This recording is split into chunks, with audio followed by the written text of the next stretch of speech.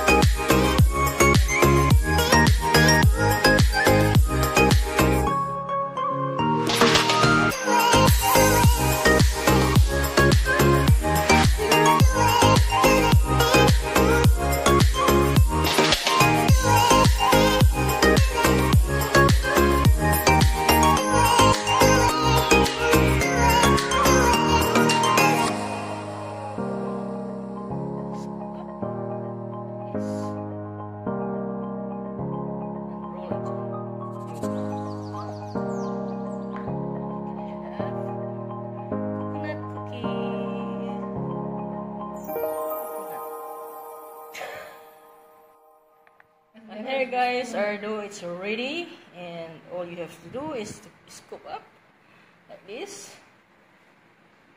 Okay. And then just roll it.